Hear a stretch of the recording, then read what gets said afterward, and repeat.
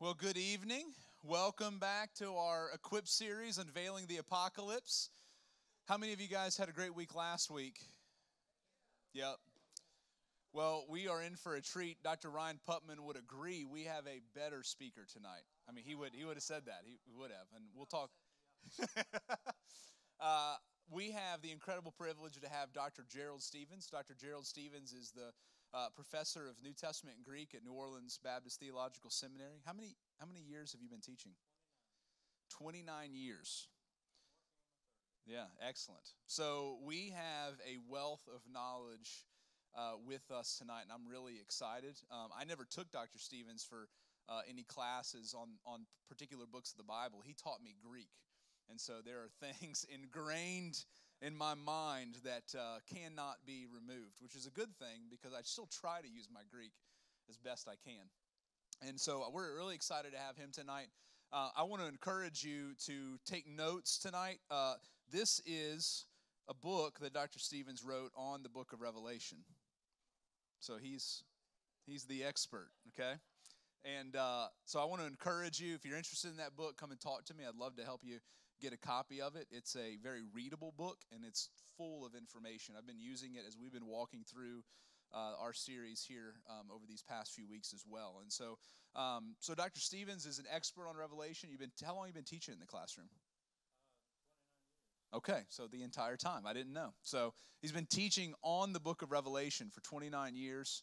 Uh, in, at, at, the seminary, he's written uh, this book. He's edited another book, right, of essays on Revelation. And uh, so I'm really excited to have him tonight. We're going to be kind of tackling some of the most, what I consider some of the more difficult content of the book of Revelation tonight things with the seals and the trumpets and the bowls and some of those issues. And so, like I kind of joked this morning, if I've confused you over the past few weeks, Dr. Stevens is here to bring clarity. And uh, so I'm excited about that. Like last week, we're going to do um, some Q&A at the end. And so I want to encourage you. Maybe you've been, as we've been walking through this series, you've come, you know, you've come up with some questions along the way, or maybe tonight as we're walking through content, and there's something that Dr. Stevens says that kind of sparks a question.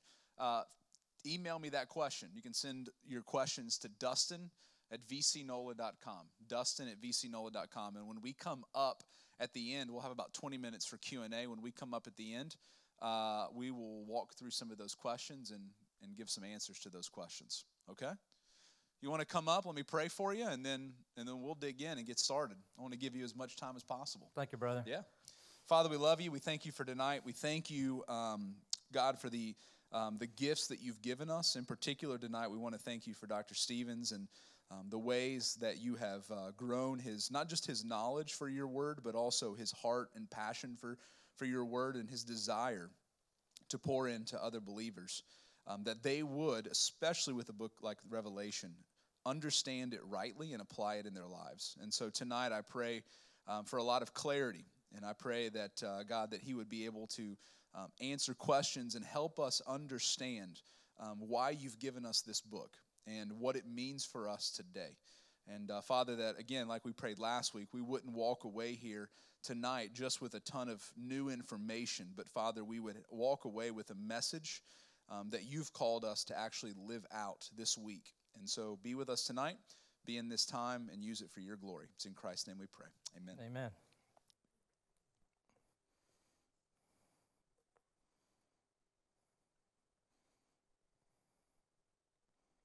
Have to get my notes going, make sure I'm I'm there. Um, I'm excited to be with you because I have been working with the Book of Revelation for a long time. Uh, that is not to say I'm an expert. It means that I am on the journey just like you. Uh, we all have been on a very long journey with the book of Revelation. Uh, if we've had anything to do with trying to understand a very difficult book, here's what I'm trying to do. Let me give it to you in a nutshell. I'm trying to recanonize the book. I think that a lot of what has happened with the book of Revelation has decanonized it. By that I mean that we've taken it out of the canon. How do you do that? It's real simple. You take the gospel out of it.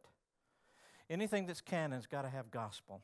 Anything that's canon's got to be about Jesus. Anything that's canon has got to be what the four gospels are about.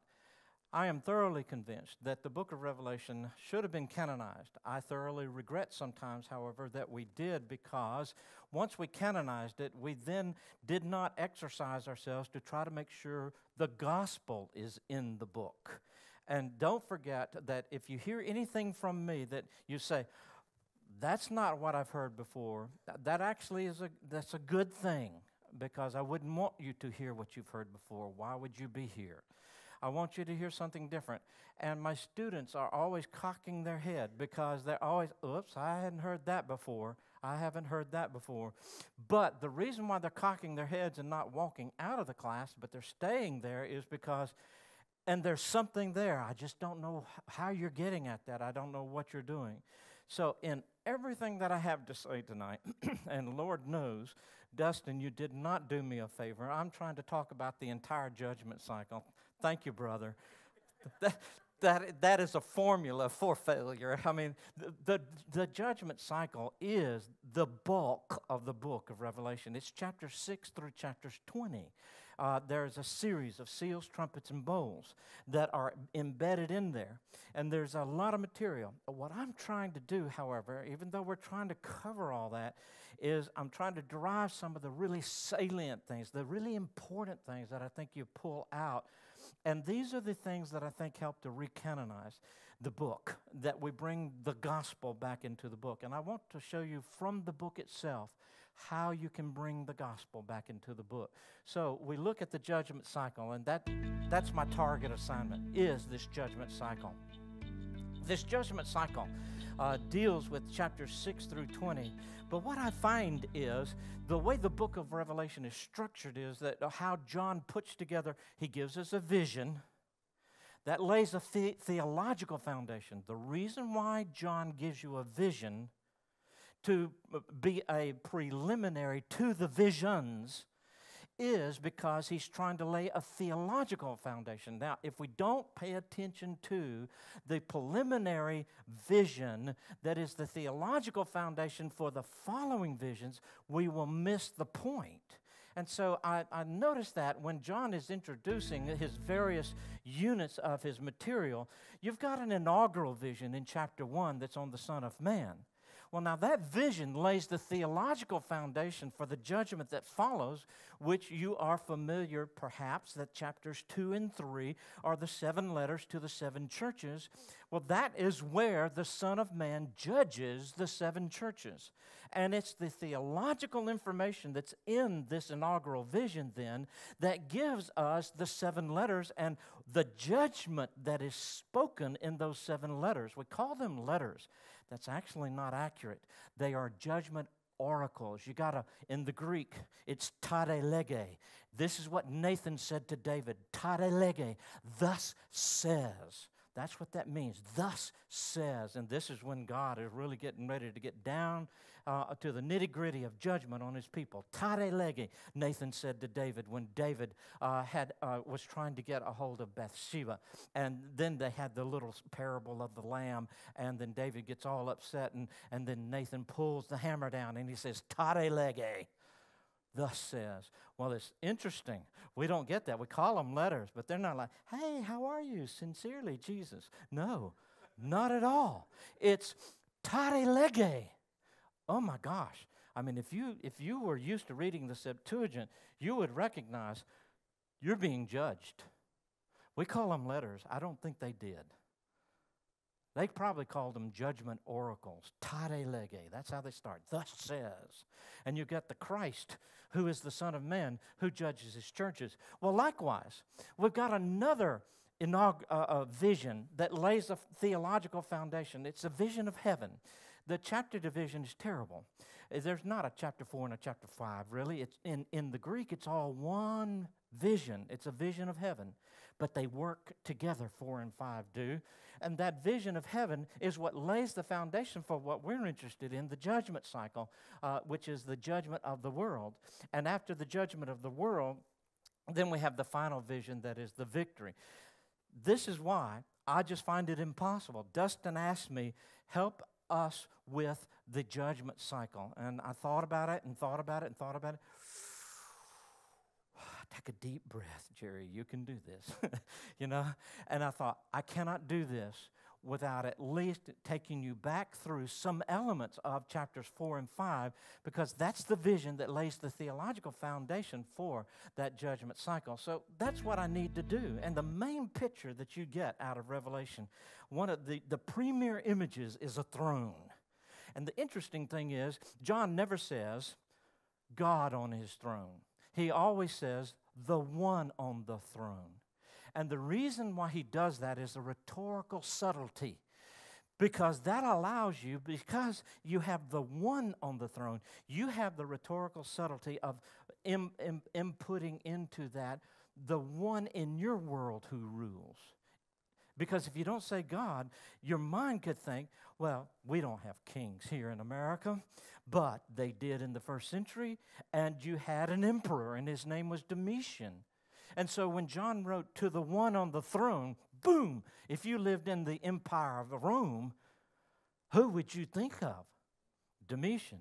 And so John is getting you to, a very subtle rhetoric. John is getting you to challenge your concept of Domitian sovereignty because you are thoroughly persuaded Domitian is your Lord, is sovereign over your world, rules your world. And all iconography, that is the, the reliefs in stone that the Roman Empire put up everywhere in the downtowns of their cities, was trying to promote this ideological thing we rule the world. I mean, that's the grand declaration of the Roman Empire. And their emperors, when they conquer somebody, the statue has the emperor with his foot on the neck of the conquered person, and the conquered person is smaller. They're midget size, and the emperor is huge and colossal. We are the rulers of the world. And that's what their statuary indicated. That's what their iconography indicated. That's what their numismatics, their coins indicated. Rome ruled the world, Rome was sovereign. If you don't live in a society with a Lord that's already on a throne, then how do you know how John's imagery is an attack on your government? It's a subtle attack. John just simply says, to the one on the throne. And you think, your mind, well, you're, you Domitian, and then, no, wait, this is Christian. That's God. Yeah, there's the struggle. Who is Lord of your life. There's the struggle. Who is Lord of your life? So, Revelation 4 and 5 works together. It's a double chapter. You've got Almighty God, chapter 4, and His saving Christ, chapter 5.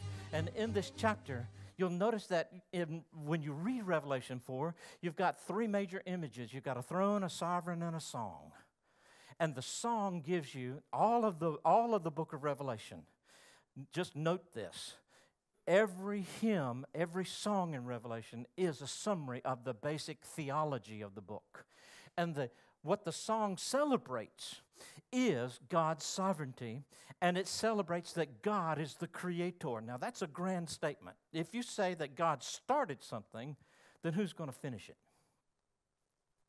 If God starts something, who's going to finish it? God's going to finish it, not the devil. And that's the sovereignty of God. And that's what's celebrated in that wonderful song in Revelation 4. But then the question is in our world, how does God manifest his sovereignty? Now, here's where I'm going a little bit. I'm already tracking. I know in my mind I'm already tracking in a direction you may not be familiar with, but watch how this works. The question is think about it. It's a theological question. Struggle with it. How does God conquer evil? Think about it. How does God conquer evil? And the answer in chapter 5 is with a scroll, a Savior, and another song. that summarizes that theology. Now, the scroll is the book that cannot be opened unless somebody worthy can be found. And that's the issue that it, who is worthy to open up this scroll? And then we find that there is a Savior, but the imagery that John uses to show us who is the Savior that can open up the book, the imagery that he uses flips everything on its head. It's not what you expect. And it's not what the church expects today. It is not what we want to hear. I guarantee you. I know that because I know how we live. I know by how we live, we don't want to hear the message of this book. Now, that song then celebrates that victory that God wins through His Christ, through His Messiah. So, the issue of four and five, look at the balance here. The question of four is God is creator, He is sovereign over the world. Grand declaration. But then the question is, how does he manifest his sovereignty? How does he work his sovereignty? How does he express his sovereignty? And we get the answer in chapter 5. He expresses his sovereignty in a most unexpected way. I guarantee you, Domitian wouldn't have this answer. Domitian has his answer for how he's going to express his sovereignty. What is his answer? His answer is his mighty legions, of course. I've got legions under my command. I'll send a legion to put down that rebellion. I'll send an army to do this. And that's the imagery that you have in Revelation. But be very careful. Just because there's martial imagery does not mean we have martial theology. Watch out. The imagery is to make a theological point in the world in which sovereignty was expressed by an emperor and his mighty legions, his armies that went out to conquer. But even though that is the context of the imagery, be very careful with that imagery. Because a martial metaphor does not mean martial theology. Now, watch how this works. That's the question that we've got going on here, and that is what is really going on with Revelation 4 and 5 together? What's the literary point? And the literary point is going to be the question that's asked in chapter 5, and that is this question Who is worthy? Well, Domitian, who's going to be worthy to be captain of your Praetorian Guard? Well, I bet he'll be buff. Hmm? I bet he'll be a soldier. I bet he'll be able to wield a sword. I bet he will be able to face the animals in the arena courageously and triumphantly.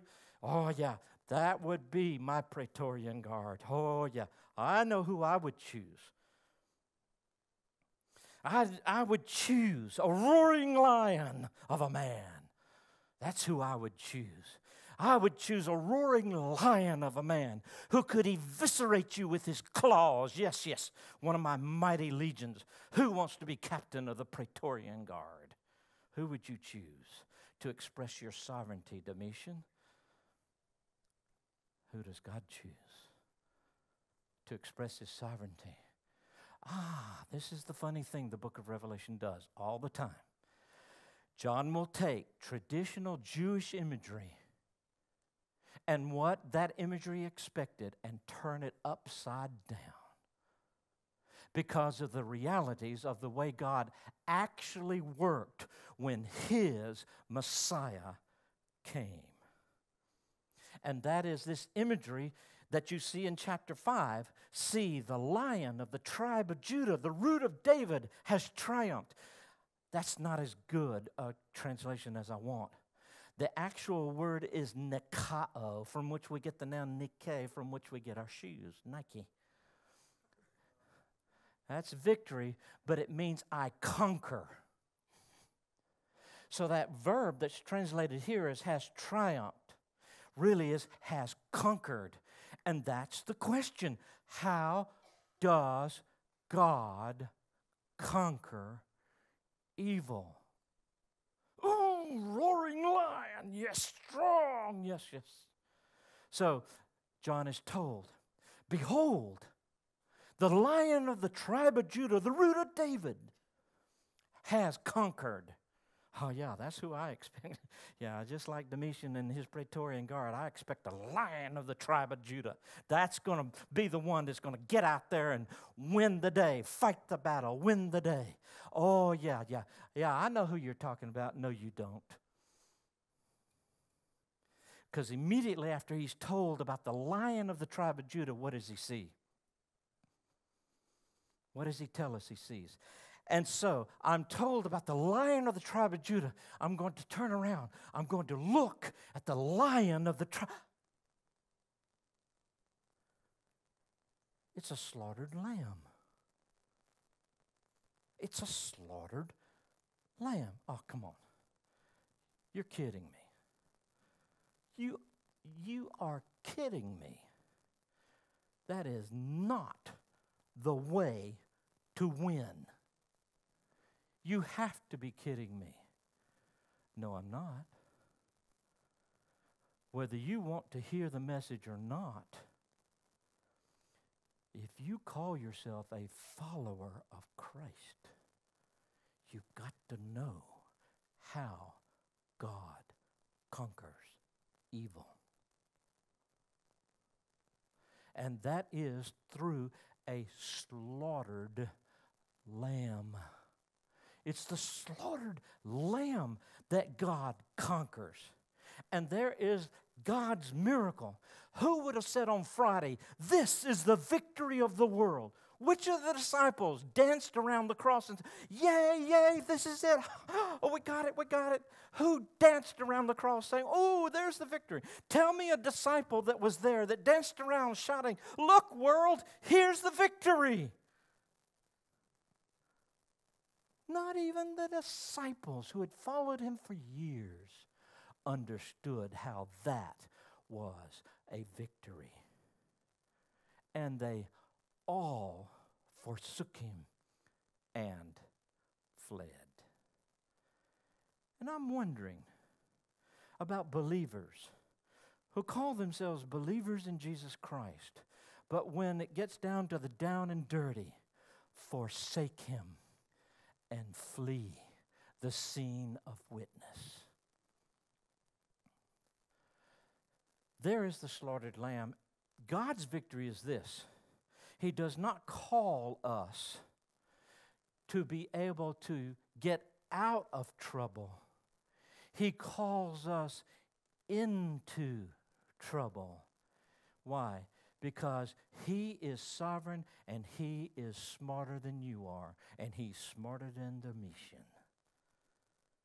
Because your mighty Praetorian Guard in the long run is not going to do the job. And any alternate plan that you have for oh God, I got a better idea. What that? Wait a minute. You know, slaughtered lamb, oh, come on, we can do better than that. Slaughtered lamb for conquering evil, come on. I got a better idea. And constantly we're trying to put a better idea into the storyline, our idea. This is how you're going to do it, God. This is how you're going to express your sovereignty in my life. You'll do it this way. This is a better way. And you'll invent your own little Praetorian Guard to surround you for your sovereignty. But God says, no, that's the way I'm going to do it. And then he gives the miracle. And that's the miracle that we're not expecting. The miracle of resurrection turns Friday, the tragedy of Friday, into celebration. But Jesus had to go through tragedy before he could sing. Hallelujah. And the church will have to go through tragedy before the church can sing hallelujah. There is a storyline here. There is a victory. Nikao, conquered, triumphed. Yes, God vindicates his own. But God only vindicates those who have gone to a cross. Only those who live across. I'm sure you've probably have heard one of the most famous sayings of Jesus take up your cross and follow me? It's the way of passion. The passion of Jesus is supposed to be reincarnated in the church. And that is what this is about. And that's how God conquers. In Revelation 5 6, traditional Jewish messianic imagery, in other words, of the apocalyptic warrior lamb is transformed radically into a unique Passover lamb who dies but lives. In the truth of this Passover imagery, a slaughtered lamb standing, resides the heart of Christian faith and practice, the soul of the nature and mission of the church, and the hermeneutical key to Revelation's portrait of the eschatological future. This is where it is. If we can get this imagery into our heads, then we can find out the story and the message of the book of Revelation. So, what is the theological point here? Christ fulfills God's sovereignty. Revelation 4 and 5. Christ fulfills God's sovereignty. But it's a passion that fulfills God's sovereignty. So when you are looking for a lion, you need to find a lamb.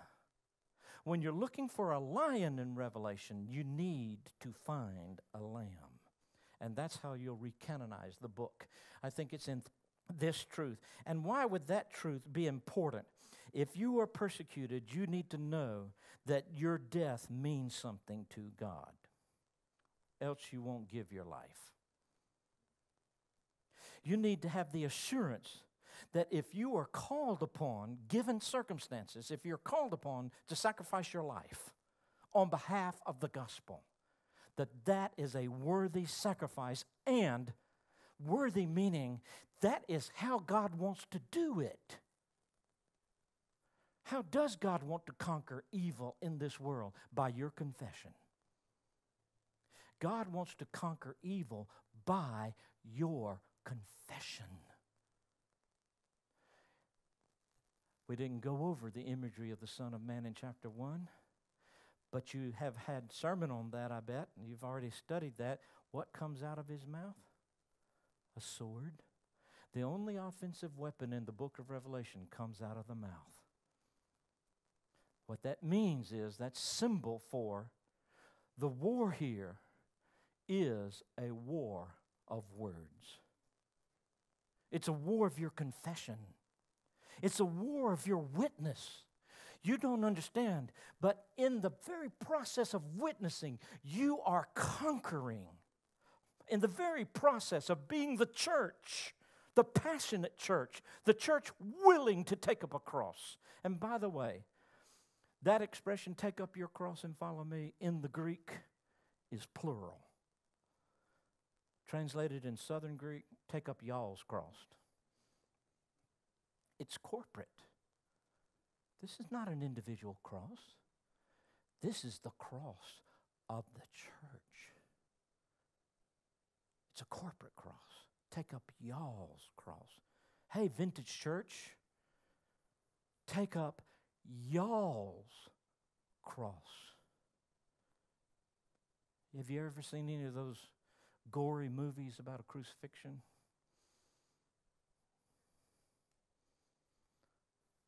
Come on. That's not a pretty picture. But that's how God does it.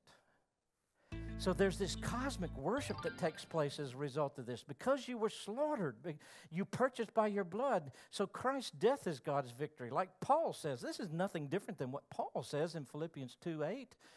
He humbled himself and became obedient to the point of death, even death on a cross. So Christ opens up God's book. Who is the one worthy to open up the book? Who breaks the seals of the book? It's not the lion, but the lamb that breaks the seals of the book. And that's the important thing. The angels agree with this. The angels talk about the slaughtered lamb. Now, all of heaven is talking about the slaughtered lamb. If you ask an angel, how does God conquer evil? No angel has any problem with the answer to that pop quiz. The answer to that quiz is God conquers evil through the church, through what Jesus released at Calvary. Jesus released a force at Calvary. There's something released into the world that had not been released before. Only the power of the death of Jesus could release this force into the world, this dynamism that changes all human relationships. Abraham couldn't release that force. David couldn't release that force. Isaiah couldn't release that force. But Jesus did release that eschatological, that end time power to change the world. And it has to do with the church. So Jesus is passionate in his witness because he's asking us to buy into the theology. There's your theology. That God conquers evil through passion. There's your theology. And it's tough. And it's hard. But they are the ones that talk about the slaughtered lamb. So the angels agree and they give this sevenfold acclamation. That, and that indicates how perfect this salvation is. Nobody could have thought of this like God did. So all creation joins in in chapter 13, uh, in verse 13 in chapter 5. And they sing to the one sitting on the throne. Notice how John leaves it ambiguous. To the one sitting on the throne and to the Lamb. And there's this crescendo of cosmic worship. What gets heaven a buzz is the cross, not Armageddon. What gets heaven a buzz is the cross. That's what makes the angels sing. The angels sing because Christ died. That's why the angels sing. That's why heaven rejoices. We need to learn the song of the angels so that we know what to sing when somebody asks us, How does God conquer evil? So, who breaks the seals in chapter 6 that starts our judgment cycle? Who breaks the seals? And I would point out to you very carefully, John is very clear. It's the lamb who breaks the seals, not the lion. The lamb breaks the seals. The cross then is the judgment of the world. That's what that tells you. And but this is nothing other than what the gospels have said. Even John the apostle said when he was talking about the cross of Jesus, now is the judgment of this world. Now the ruler of this world will be driven out, not 2,000 years from now. Jesus didn't say, 2,000 years from now, I'm going to win. 2,000 years from now, the devil is going to be driven out. That is not what he said. He said, now, pointing to himself and his journey up Calvary's Hill. John, in other words, in the apocalypse, is not saying anything different than John the apostle said in the gospel. And so, this is how God conquers the world. And that's what the judgment cycle is about. the judgment cycle is about what the cross of Christ released into the world. It released judgment. In what way? In the church's witness, in the church's testimony. In what way? everything anybody calls sovereign other than God through Jesus Christ is a lie. Every belief system that does not accept Jesus Christ as the way, the truth, the life is a lie. So that your confession is the victory because you're the one telling someone who is suggesting an alternate person to sit on the throne of God. You're the one. You're the one. You're the one who says no. Only Jesus. You're the one. And that confession is God's victory over evil. The New Testament says that confession banishes the devil. That confession is your sword. Confession. Confession. So the seals, the trumpets, and the bowls that eventuate come because of a slaughtered lamb, not a lion. And that's the theology that says that this judgment is initiated by Christ's passion and this judgment is cons- consummated by the church's passion. And you might say, That's an interesting thought. What do you mean consummated by the church's passion? Well, let's reflect on a few things that the Apostle Paul said. Probably verses that I find not too many preachers quoting, verses that I actually don't find in too many sermons. You go and you do a look, you do a search for these verses in sermons, you you won't get many hits, Dustin. And I know why. For I carry the marks of Jesus branded in my body. When Paul said, take up a cross, I mean, when Jesus said, take up a cross, Paul took him literally. I've got the brand marks of Jesus. What would that be? The marks of the cross. That would be nails in the palms. That would be nails in the ankles. That would be a spear in the side. That would be a crown of thorns on the head. The brand marks of Jesus I carry in my body. And then Paul said something else that's incredible in Colossians 1:24. In my flesh I am completing what is lacking in Christ's afflictions for the sake of his body, that is the church. Wait a minute. I thought Jesus said, to Tetelestai, it is finished on the cross. I thought that does it all. That it, there's nothing that I do. Yet Paul says something here that expresses a reality that I don't think the church has bought into or understood.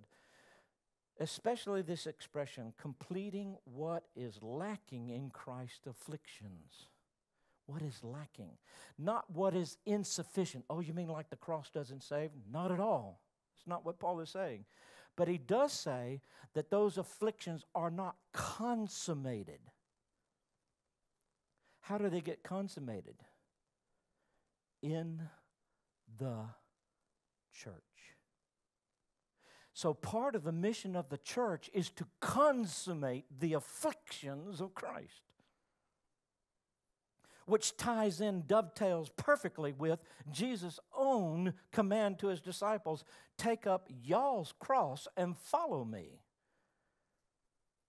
It ties in together. So, I have what I call a passion millennial approach to, my, uh, to the book of Revelation. I, am not pre, I'm not post, I'm not amillennial, I'm passion millennial. I'm trying to get the passion back into the story. If we don't get the passion back into the story, we never should have canonized the book. Because it's passion that makes anything New Testament. So we've got to think about how to get this passion back into the church. So if you think about God being sovereign, somebody sitting on a sovereign chair, you must think about a crown of thorns. Those go together. That's Revelation 4 and 5. You can't think of one without thinking of the other. So who is worthy? The one who wears a crown of thorns. That's who's worthy. So, what's worthy in the life of the church? The church that carries a crown of thorns, completing the afflictions of Christ. That's the vision then. I had to go through that to set up the judgment cycle because that's what starts the judgment cycle. The judgment cycle then 6 through 20 is going to consummate this ju- excuse me, this judgment that's released. So you have the hermeneutical issues of how do you take the prophecies in Revelation. There are these four major theories. I suppose Dustin you've gone through these theories some a little bit. Ideal theory is that the, the fulfillment of whatever's prophetic in Revelation is all the time. This is just like an eight track tape, it just runs and runs and runs and runs and runs. The preterist view is that it's all past. The historicist view is dividing up any history that you have lived up to your point in time and saying that that prophecy is about that, that prophecy is about that, and you just divide up history. And that's a historicist. And then the futurist is saying, no, no, no, no, no. Uh, all of Revelation is all about the future. None of it has transpired. It's all about the future. And so basically, uh, in my take on it, you need to understand I'm preterist, but not fully. I'm not a complete preterist. In other words, here's what I think. Preterist position is a way of saying what we know about any book when we're trying to do exegesis of any book and we're trying to interpret any book in the New Testament. For example, say I gave you the job of teaching a Sunday school lesson on 1 Corinthians, a passage in 1 Corinthians. Well, what would you do? Well, instantly you would start trying to set this up. You would start studying well, how did that church get started? Uh, who started it? Oh, Paul. Oh, okay. What, what missionary journey? Second missionary journey. Oh, okay. And on and on you go. You build a history around it. In other words, you know that the interpretation of 1 Corinthians is the history that's built around 1 Corinthians. Preterist position on Revelation is simply saying that the main address of the book is not to an audience 2,000 years later, but to the original audience, just like you would with 1 Corinthians. You'd say, who was 1 Corinthians written for? Well, the, the Corinthians, obviously. Well, who was Revelation written for? The seven churches. Obviously. That's who's addressed at the very beginning of the church. Here's the point once you leave chapter 3, you don't leave the seven churches. My position is that all of Revelation up through chapter 20, that's this whole judgment cycle, is about the seven churches. And that is not a common position. I'm not a pure preterist. A pure preterist would say everything in Revelation already has been fulfilled. That's pure past position on the prophecy. I'm not a pure preterist. But I would insist, according to main guidelines of good interpretation, that the main audience addressed is the original audience. And the main meaning of any text is the original audience and that gives you the substance of why I would say, when I say I'm preterist, I'm just simply saying Revelation is about the seven churches. And so, in terms of prophecy and prophecy fulfillment, that's basically how I would go. The other question about this judgment cycle and all these judgments is you have three major theories. You got seven seals, seven trumpets, seven bowls, seven tons, and three times seven is 21. So you got imaged 21 judgments. So is that 21 sequential judgments? Or does the seventh judgment play out into the next series because the seventh judgment, when you read it, is really not a judgment at all? Or is it recapitulation? Well, I have reasons for thinking that probably what we are dealing with here is recapitulation. Uh, there are, are some elements to this. Repentance is sought every time.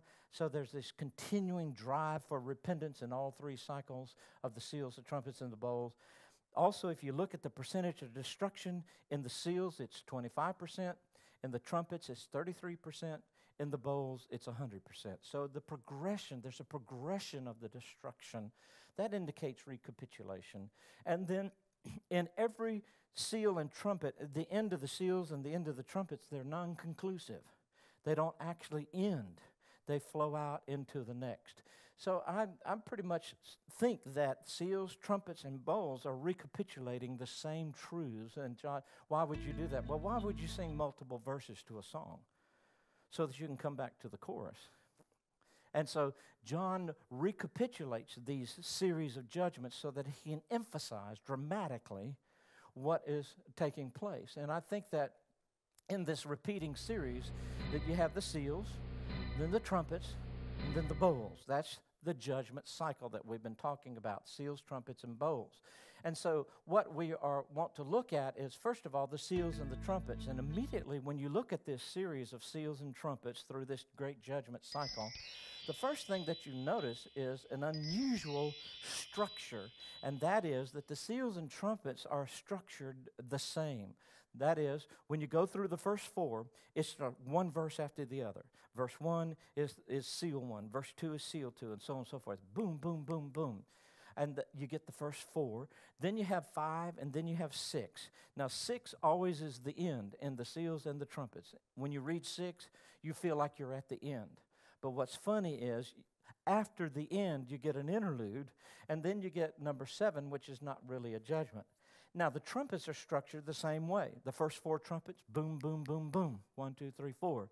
Then there's five, then there's six. Trumpet six looks like the end. That's cosmic disturbances, things going on. It looks like the end, but it's not the end. And so uh, then you have this interlude, and then trumpet seven. Here's my point look at that structure. There's an interlude to each series. It's the interlude that's important. That's why the interlude. You know how when you're watching a movie, you got it on the DVD player, and uh, you know it's it's it's like, oh man, I, I need to take a break. Punch pause, so that you can take a break. Well, in the judgment cycle, John punches pause on the DVD player so that he can remind the listeners of the truths that he wants to get across. And so the interlude here are giving truths that he wants to bring across in each one of these series. So you've got this judgment cycle. Here's another way to look at it. The first half of Revelation is the Christ cycle, talking about Almighty God and His Christ, and this is the seals and the trumpets. And then you have the second half of Revelation is the dragon cycle, which is introducing a, a, very new character, the red dragon and his beast. These are new characters. So it's kind of like Act 2. So the Christ cycle is like Act 1, the dragon cycle is like Act 2 because you've got different characters on board. And so John is moving the series along and he's going to recrank it at chapter 12 and rehearse the issues of the seals and the trumpets. So as we, whoops, I did the wrong thing. So would you pump that up again on that slide? Let's see if we. So when, when you're when you're looking at this mat, uh, material, what what's obvious is the first two have a, the similar structure, and they all they both go to an interlude that's very important. And then the third recranks the story but makes it very particular to the seven churches and they're dealing with domitian and the roman empire. So we want to look at the seals and uh, in the in the seal judgment.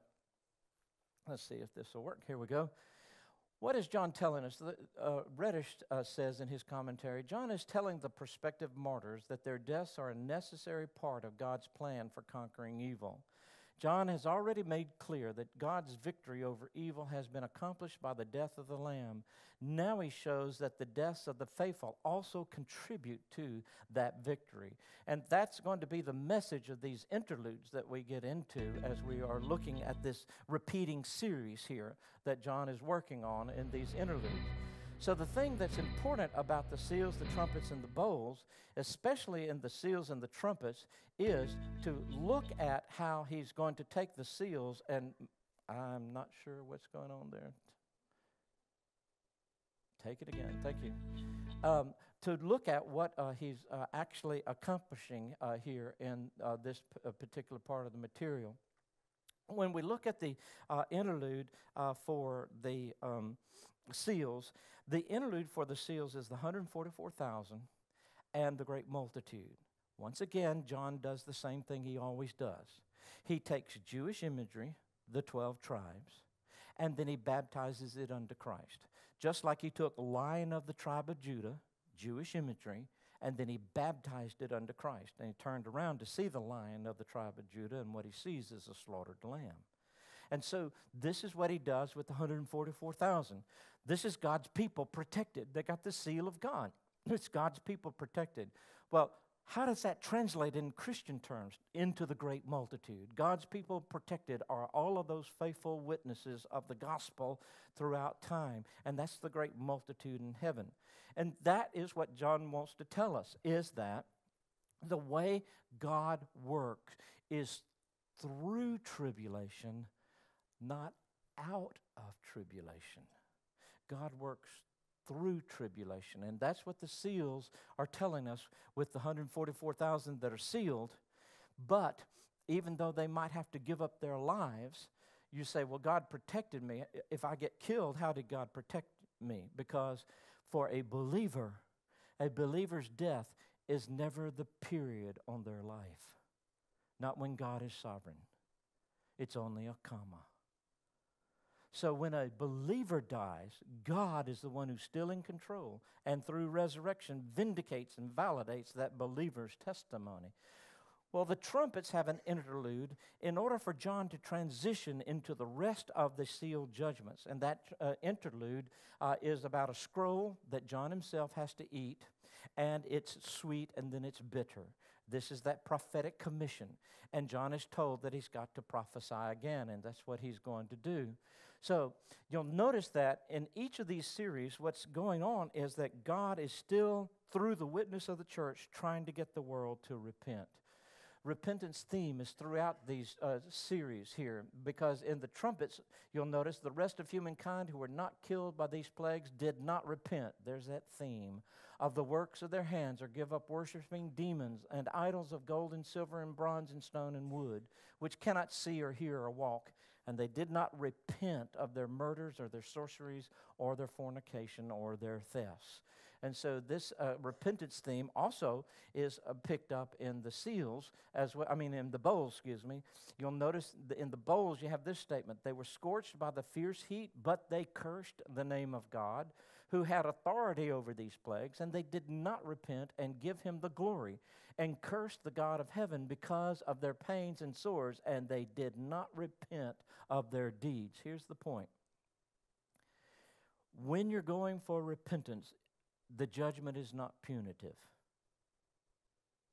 If there is a repentance theme in these judgment cycle bowls, uh, trumpets and bowls, if there's a repentance theme, the judgment is not punitive. It's not a penalty for a crime after which you're thrown in jail.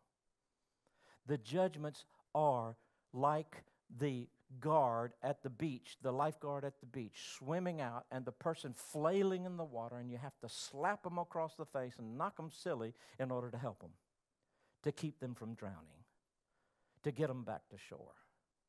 The judgments, whatever they are, need to be conceptualized as God trying to get the attention of someone you're witnessing to.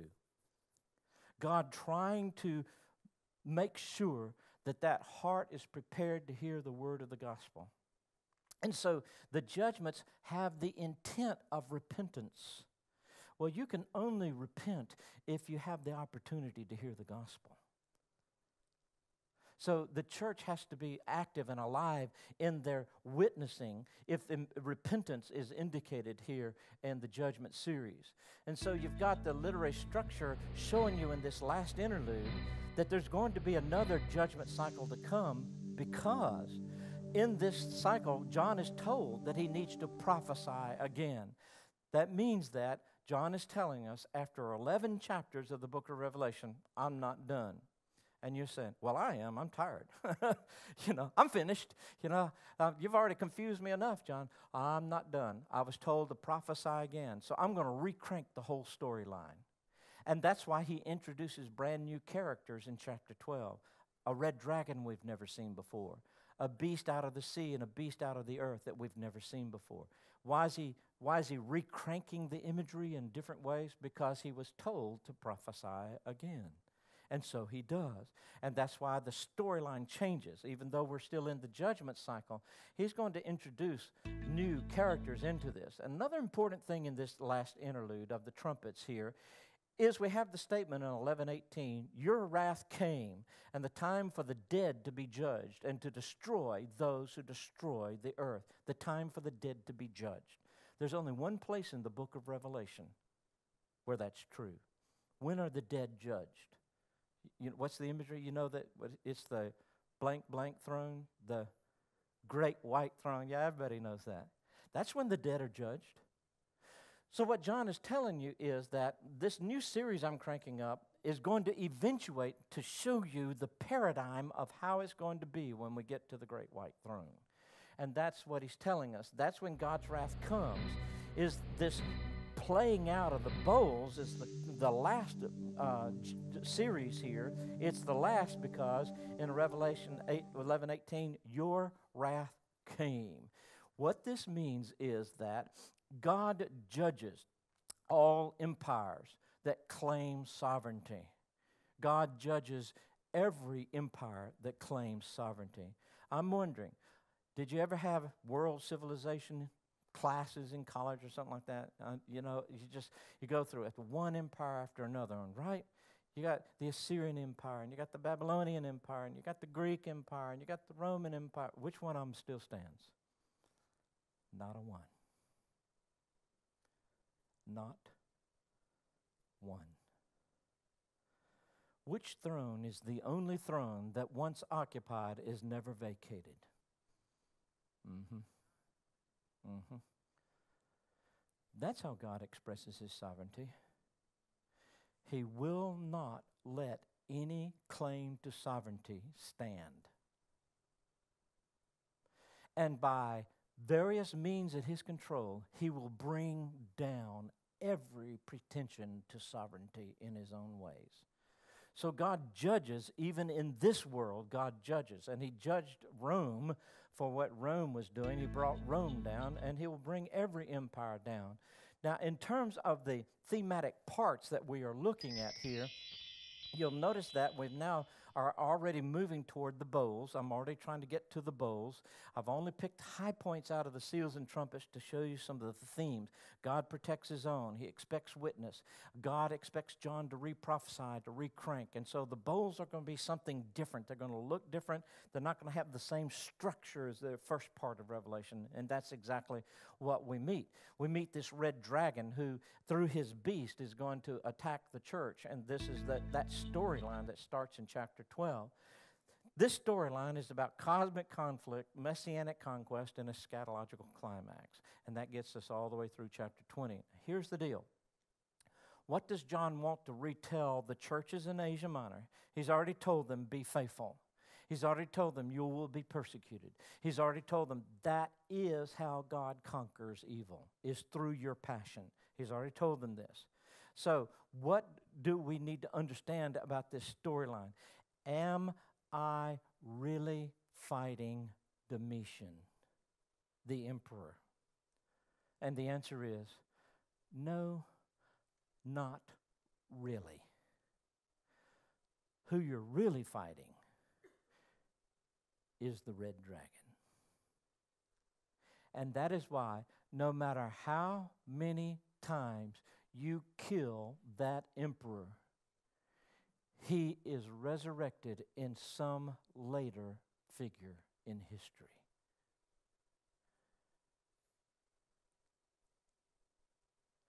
Because the war is not earthly, the battle is cosmic. And so it's a cosmic conflict. That's why John introduces a red dragon. Pardon me. A red dragon is someone who is, uh, is a figure in the ancient world. Everybody knew about a red dragon. Everybody had dragon stories. All the great civilizations had dragon stories. So John's pulling off of storylines that have been told for millennia about how this world operates. All these stories are trying to say why we have the problems we have. And so, this is the nature of calling upon this cosmic conflict. But in this cosmic conflict, there is a messianic conquest. And finally, we get to an eschatological climax, which will be Satan's defeat and God's judgment. Evil is never truly uh, defeated until Satan is defeated. And then you have God's judgment that issues. Now, this messianic conquest is where I'm reading Revelation different than the way you probably have heard. I, I know if you've heard some interpreters of Revelation, they will insist that beginning at chapter 4, all the rest of Revelation is completely future. I know because I used to think that. I, I grew up on that. And so I always thought that from Revelation 4 on, it's all about the future. I'm turning that on its head. I am saying that you don't get to the future in Revelation to the end of chapter 20, till you get to the Gog and Magog battle. Well, what do you do with Armageddon? That's in chapter 16. What do you do with the rider on the white horse? That's in chapter 19. You mean that's not the second coming? No, that's where I'm turning things on their head. Let me show you just a little bit to give you just a hint of how this works for me in terms of trying to understand how this thing is brought to a conclusion by John. And that is what you when we're looking for the uh, martyr song, it's interrupted with the song of Moses and the song of the Lamb. Moses is described like a servant, just like John, and God is described versus the imperial claims. The way the stuff starts reading in chapter 15 shows you how God is being presented as the uh, anti emperor to Domitian. You got the Pantocrator, that is the all powerful, which is God, versus the Autocrator, which is Domitian. All imperial inscriptions. When you are looking for the word emperor on an imperial inscription in Greek, you would look for the word autocrator, the self powerful. Auto, like automatic, the self krator, krateo, strength, I am strong. Autokrator, the self powerful one. Well, Domitian claimed to be the self powerful one.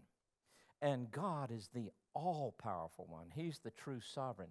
And so you get this Song of Moses and the Song of the Lamb mixed together, the great redemption out of the Old Testament used as imagery for the redemption of the New Testament. So you have the king of the nations versus the Roman Empire. God is king, not Rome. All the nations will come and worship versus the Roman beast. So you have John using the Exodus in the bowl series as a paradigm of the redemption. So the bowl judgments are enacted, but then you get bowl six. And here's where I want to spend just a little bit of time in bowl six, just to show you something that happens. In bowl six, uh, after bowl six, you get three additional pieces of imagery. You don't get bowl seven, in other words. You got a short little period here of a few verses 13, 14, 15, and 16. You get the frogs in 13 and 14. You get a beatitude in 16, 15, and you get Armageddon. Ooh, there we are. We're finally there. Armageddon. We're there. Okay, I finally got there. Uh, so let's look at this though. I mean, the frogs, they that come out of the. I don't know why I'm doing that. Could you hit that again for me? I don't know what's going on. But when you, when you get the, uh, the frogs, what's happening uh, there is that the, the frogs, notice where the frogs come from. The, the statement is very clear that the frogs come out of the mouth. So, where do these demons come from? Out of the mouth. That is, once again, the imagery is about what you say. The imagery is about your confession. Just like the sword comes out of the mouth of the Son of Man, the demons, the foul demons, the foul spirits come out of the mouth. That which denies Christ his sovereignty comes out of the mouth. It's a confession that is made, and that's why you have the frogs. But then you get this benediction. What you need to notice about this benediction is that the benediction is one verse before the verse on Armageddon. No Nobody reads the benediction. That's a problem. Because John uses the benediction to give you an interpretation of Armageddon. Watch how this works. And what he's going to do is he's going to tie back to the seven letters. So here you have the seven letters, specifically the letters to Sardis and Laodicea. And you have that famous Armageddon here in chapter 16. But notice in the benediction, which is verse 15, see, I am coming like a thief. Blessed is the one who stays awake and is clothed, not going about naked and exposed to shame. And then the verse, here's verse 16. Then the verse, after the benediction, then the verse, and they assembled them at the place that in Hebrew is called Harmageddon. The benediction is the prelude to the imagery of Harmageddon, and the benediction takes you back to the seven letters. Because if you'll notice in the seven letters, those two themes, did you notice the two themes in the benediction? You had the theme of, I'm coming like a thief. Be awake, I'm coming like a thief. And the second theme you had, the second motif was the shame of nakedness. Now, notice that you get this theme of waking up, or else Christ comes like a thief in the letter to Sardis. Within the book of Revelation itself, John uses the benediction to take you back to the letter to Sardis. Remember then what you received and heard. Obey it and repent. If you do not wake up, I will come like a thief, and you will not know at what hour I come upon you. Look at that motif. I will come like a thief. There's only two times in the book of Revelation where you have the motif of coming like a thief the letter to Sardis and right before Armageddon. They're hooked together by John. And then notice the statement to Laodicea. In the statement to Laodicea, you do not realize that you are wretched, pitiable, poor, blind, and what? And naked. Buy from me white robes to clothe you and to keep the shame of your nakedness from being seen. The only two times nakedness is a motif in the book of Revelation are in the letter to Laodicea and in the benediction right before the statement about Armageddon. I am telling you that Armageddon is not a battle God is going to fight. Armageddon already has been fought. We call it Calvary. Now is the judgment of this world. Now is the devil cast out. That is what Armageddon is about. Because John himself has made the connection for us. Armageddon is about what the seven churches were having to deal with. Armageddon is about the realities at Sardis. Armageddon is about the realities at Laodicea. Now, this is even more clear after you see this connection of the benediction to the statement about Armageddon in knowing that Armageddon has no real geography. I don't care what you have been told. I'm telling you, there is no mountain of Megiddo in Israel. There is no mountain of Megiddo. There is no mountain to be found on any map. The etymology of this word even is unclear. We don't have any etymology for the word that John uses. He cranks out a word, we don't even know what it is. Ancient Megiddo is just a town, it's just a city. It sits in the Jezreel Valley. Now, over years of occupation, you have occupation layers that, layers that have built the town up. But the town is just a hill. And there is no Jew that ever used the expression mountain of Megiddo, either in the Old Testament or in the New Testament or since, which simply means there is no mountain of Megiddo. That means that the Mount of Megiddo is of unknown meaning, simply meaning John meant it to be that way. We're the ones that made it concrete, like it had meaning. He's trying to keep it ambiguous so that you know this battle is fought wherever confession is challenged, like at Sardis or Laodicea or Vineyard Church.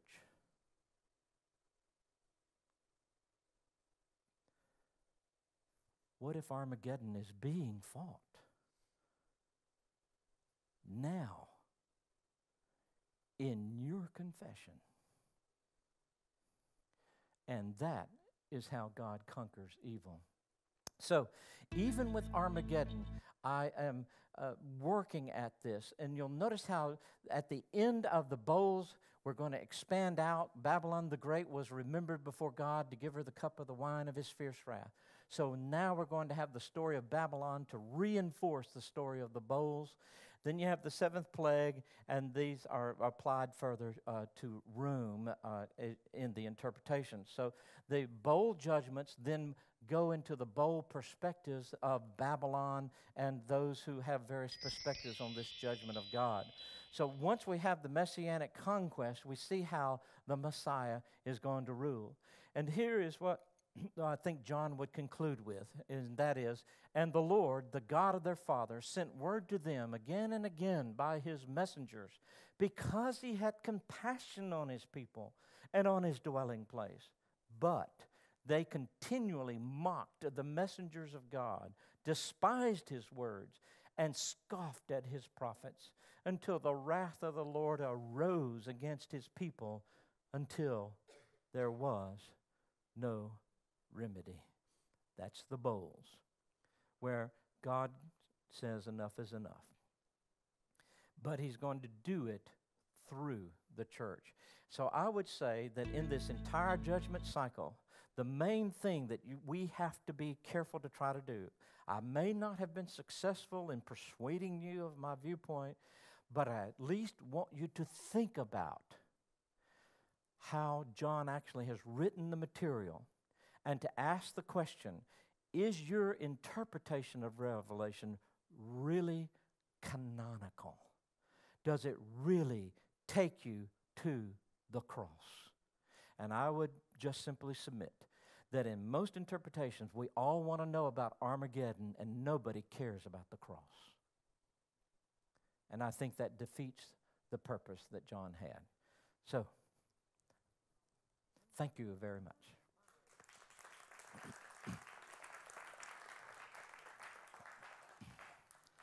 I just want to say I've been saying all of that for several weeks now. Have you? I have, and they they look less confused. So I'm just saying. Fantastic.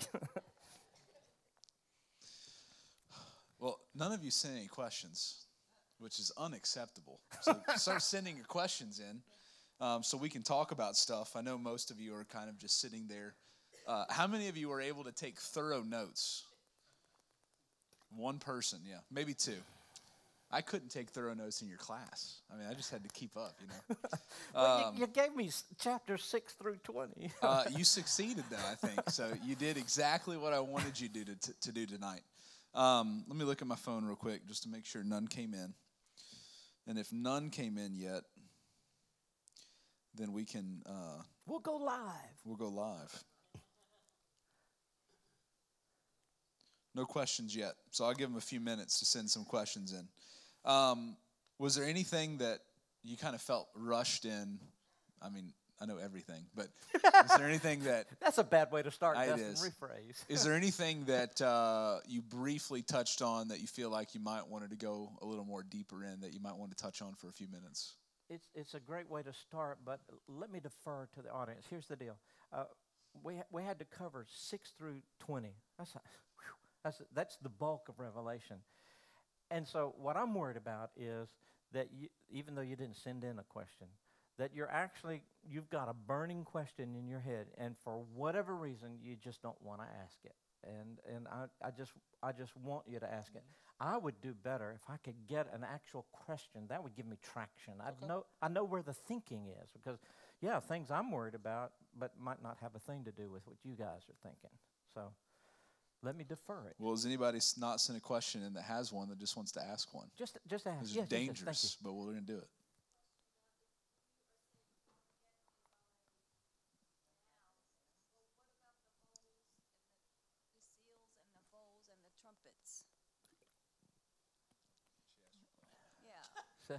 Did you get that? No, if I Armageddon's did. already happened, so what? What she was asking then correct me if I'm wrong. If, if Armageddon's already happened, what about the seals, trumpets, and bowls?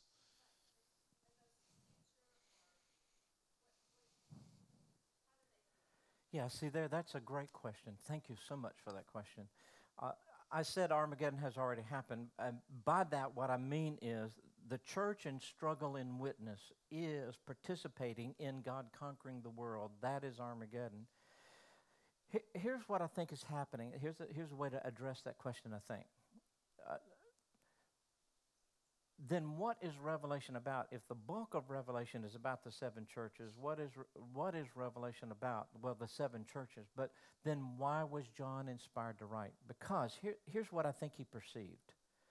Through the Holy Spirit, I think the Holy Spirit helped John to recognize that the troubles that he was dealing with in trying to have a Christian testimony in Asia Minor in AD 93, 94, 95, somewhere in there, with Domitian as emperor and with the ideology of the Roman Empire, trying to have a Christian testimony in that context eventuated in persecution. I mean, we already have one martyr in Revelation. That's in the letter to the church at Pergamum. His name is Antipas, and he has died for the faith. I think the book of Revelation is about Antipas, the questions that Antipas's death might raise for a believer, for a believer in Sardis or a believer in Laodicea or elsewhere. And John answered that question that God was going to conquer evil through our faithful witness. Antipas will be vindicated, his witness will be validated, and that, uh, that is in God's timing how he's going to do that. But then what, what the Holy Spirit helped John to see was, you know how you have a, when you're making a dress, you need a pattern, and you, you cut your material on the basis of the pattern that you're seeing. That's how you know how to make the dress. In the same way, how, how do we know what the end looks like? And John is saying, you know, the Holy Spirit has inspired me to write because the end is going to look like the seven churches and Domitian and the Roman Empire. It's going to look like this, where one person controls the economy, the government, the military, And life is not possible without sleeping with the enemy, so to speak. Life is not possible. You cannot live in the Roman Empire without submitting to the Roman ideology. Uh, even we, we think it's hard for us to think about living in an empire world. We don't. So it's hard for us to understand that if you don't pitch incense to Caesar, you don't have a job. That's what trade guilds were in the first century. Trade guilds were associations of artisans who had particular skills. And whether you were a coppersmith or you were a, a, a bread maker or whatever you were doing, you had to belong to a guild. The guild belonged to Domitian.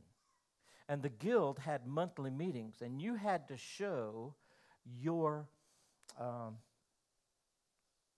your faithfulness to the empire by attending the monthly meeting. And that required pinching incense to the bust of Caesar as you went into the building. That required doing sacrifices that were required as a part of that guild meeting that month. If you did not participate in that, you couldn't be a member of the guild. If you couldn't be a member of the guild, you were not allowed to set up your coppersmith shop downtown. So, to be a faithful Christian, you might not have a job. That kind of economic pressure was huge in the first century. John is saying, there's your pattern. What does it look like when the end comes? When the end comes, the church will be under huge duress, huge persecution. So, Armageddon is always going on, but it's not consummated until that last walk up Calvary's Hill. Just like in the ministry of Jesus, he was fighting the demons and the devil all the time. So the battle was going on every day that Jesus lived. And the battle is going on every day the church lives. But the battle does not come to its end until that climactic hill of Calvary. And that's where the battle comes to its climax. And John is saying the church will be going through persecution, but it will come to a climax. The persecuted church in the world is the ongoing story of the church, but it comes to a climax. That climax is Gog and Magog at the end of the book of Revelation. And until the church goes through its passion, the passion of Jesus is not consummated. And so I think, it, in other words, it's true now, but ever more true then. So Armageddon is going on in every fight for confession, just like Jesus was fighting the demons all during his ministry. But the consummation, the, the end of it, is not until that great final struggle that the church will have, like Jesus. We've got a couple questions now, but I want, I think, I want to ask you kind of a follow up question to that uh-huh. that I think will help clarify for for people. So when you when we talk about the seals and the trumpets and the bowls, um, the it, the imagery is figurative, right? Yeah. And so, is it literally that the people are going to experience every single one of these things? Like the sun's going to turn, you know, dark, and the people are going to have sores. That's not the point of the the images. I mean, would you say that the the point is the judgment that's coming, and the judgment you were talking about the recapitulation of the judgment cycles that it's going to increase and it's going to get worse. So it's not it's not a lot of the futurists are going to interpret Revelation like we need to be looking for these things and the sun's going to turn dark and sores mm-hmm. are coming. It's not that, but it's instead to see where the imagery is, what the imagery is teaching us about the intensity of the judgment that is coming. Right. Is yes. that? Yeah. But don't forget, let me give you a for example. In the seals, the, the first four seals are the four horsemen of the apocalypse, a very famous uh, concept, the four horsemen of the apocalypse. But if you look at what the four horsemen are, they are basically uh, war and the impact of war. And that is a statement of the major way that Rome conquered others through war, through conquest.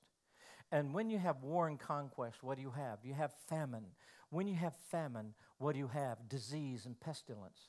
So the things that, that play out when human beings have their way on the world The things that play out are the judgment of God because God is not going to let that way of sovereignty endure. And so he will make sure that we, we just experience death all of the time. This conquest is nothing but the destroyer destroying the earth. And so, the, what happens in the seals and the trumpets and the bowls are those forces within history that take place because God has set up the world in that way, such that if you have war, there's going to be death. If you have war and death, there's going to be famine. If you have famine, there's going to be pestilence. So the sores uh, are coming out of the real experience of real people who actually experienced the Roman Empire.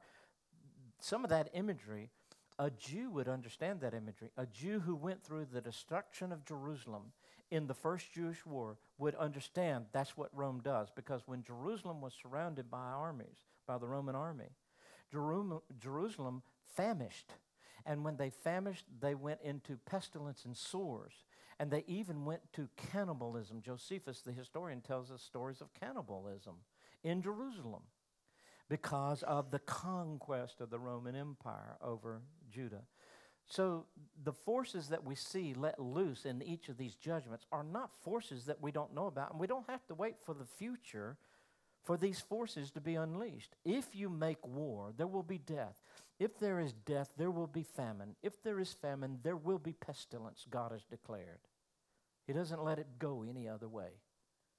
And so we don't have to wait for the future for the actual images of what's revealed in the seals, trumpets, and bowls actually to play out. Now, what about cosmic disturbances? This is a good point. Here, here's, this is very important. In terms of cosmic disturbances, those always are a picture of the end, the end, the end, the end. The cosmic disturbances, John puts into the sixth in each series the sixth seal, the sixth trumpet. But then he follows afterwards, which tells you that I'm bringing you up to the end, but I am not giving you the end. Because there is something else that follows after. I mean, if we're at the end, you're at the end, right? The movie, when you get the script goes by and it says the end, you, you'll get up and walk out. So the cosmic disturbances were well known images that apocalyptic writers used to talk about the end in terms of capital T and capital E, the end. But when John does that, he actually innovates in that he doesn't let the end actually be the end. And then he, he transitions into another series because why? He wants to recapitulate for the impact, a quarter, a third, more. It gets more and more for dramatic impact. So even with the cosmic disturbances, uh, should we be looking for the sun to turn red? No. What does the sun look like when your city is burning? Red. Have you ever seen the sun through smoke? It's red. All you need is a conquest of a city to understand that imagery. It means you have been destroyed. It means you have been conquered. You, you don't have to look for something in the future. All of this imagery comes out of the real experiences of people in the first century world. It made sense to them. It wasn't weird. It wasn't wild. It's the Roman legions are out there battering our walls down, and when they get in, they're going to burn us to the ground. And when they do, the smoke will go up forever. Did you know that a city that burns once it has been conquered uh, cannot even be occupied again because of the heat for months and months and months? And the smoke of its burning just goes up almost interminably. There are stories in Josephus where a destroyed city was still smoking six months later.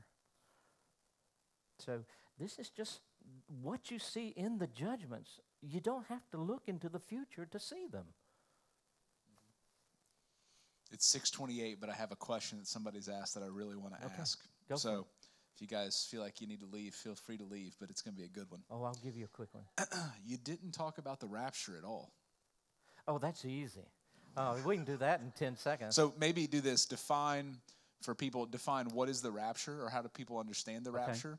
And uh, what you believe about it sure. in the book of Revelation. Rapture is a doctrine invented by J. N. Darby uh, in the dispensational system of the 1800s.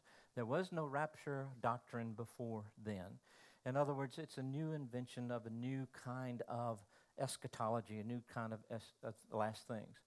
The idea is that God is going to take the church out of the world, and that's when we get the seven year period of great tribulation that everybody else goes through, but the church doesn't. The reason why I do not believe in the rapture is that the rapture just completely destroys the cross.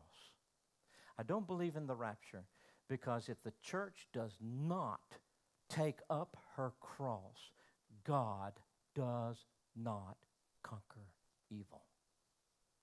So I would say the opposite of what a dispensationalist would say. I would say the church must go through tribulation, just like, now think about this. When Jesus prayed in the Garden of Gethsemane, did God rapture him out? No.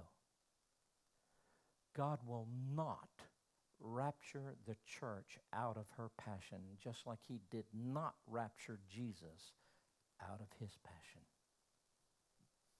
I'd say that's a pretty good answer. Uh, I want to, number one, can we thank Dr. Stevens again? Uh, so I want to remind you that we've got two more weeks left of this. Um, next week, Dr. Rhyne Putman will be back, and he's going to be talking about resurrection, the topic of resurrection, the topic of uh, the millennium, and uh, post millennium, premillennialism, amillennialism, passion millennialism. I I'll hope make he sure he gets talks it. about it. Uh, and then if not, we'll bring you back. You're back the last week, and you can share uh, your opinion. And then um, the week following that, in two weeks, Dr. Stevens will be back, and he's going to be spending a lot of time at the very end of Revelation, uh, 21, 22, talking about the new heavens and new earth and what that means for us. And so I really want to encourage you uh, to be here for these last two uh, meetings. Also, be thinking about your questions now because we have time and I want to be able to answer them.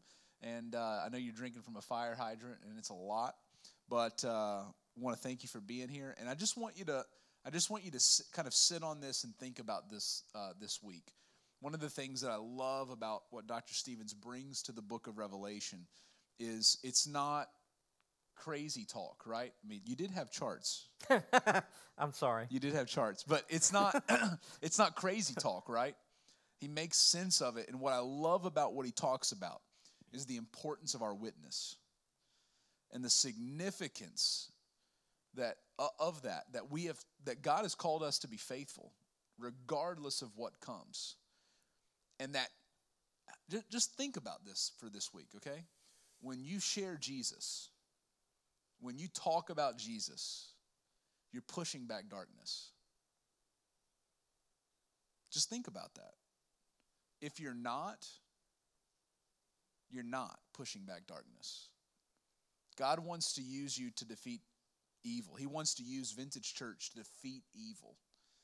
And what that means for us and what it means from the book of Revelation is that God has called us to be a faithful witness of the gospel of Jesus Christ. And that, I can promise you, has practical implications for each one of our lives this week. And so this week, let's go with that, with that reminder that we've been called to be faithful witnesses. And that as we do, God's using us and using us together to push back darkness. Not here in this city, but all around the world. Okay? Let's pray, and then uh, we'll leave. Father, we love you. We thank you for today. Thank you for this opportunity again. Thank you for bringing revelation to life. Not just that we would just understand it, Father, but that we would go out and actually live it. And so empower this week, empower us this week, Father, um, that we would be faithful witnesses. God, that as we say here at Vintage, that we would um, leave this place and live the gospel, serve the city, and be the church. It's in Christ's name we pray. Amen. You guys have a great night.